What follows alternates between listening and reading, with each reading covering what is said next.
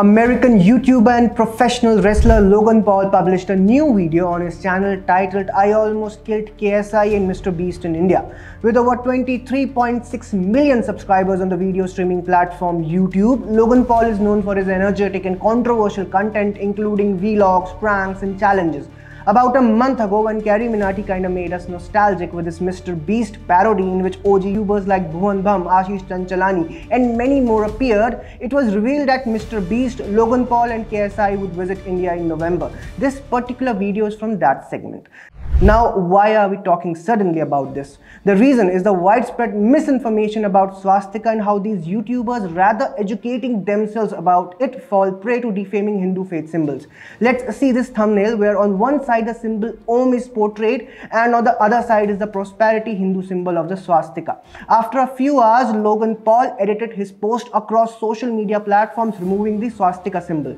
Paul has not yet issued any apology for using the holy Hindu symbol for the Nazi symbol.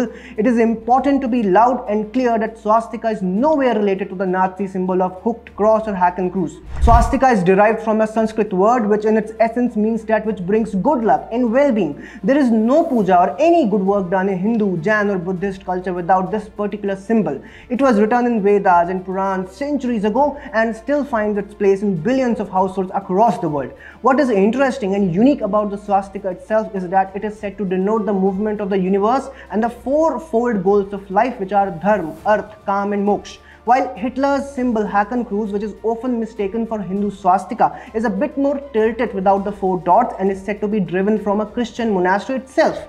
As per an X-handle known for myth-busting regarding Hindu cultural history, True Indology, Hitler himself never used the word swastika but called the symbol as hooked cross or Hakenkreuz. It has been said that the hooked cross has been a sacred symbol of Christianity since its inception and is commonly found in old churches and chapels.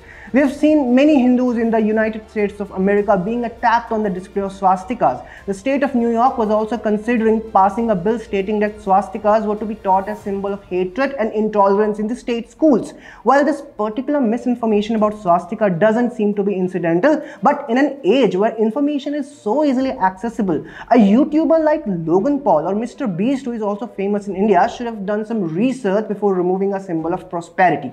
What are your thoughts on this? Do let us know in the comment section.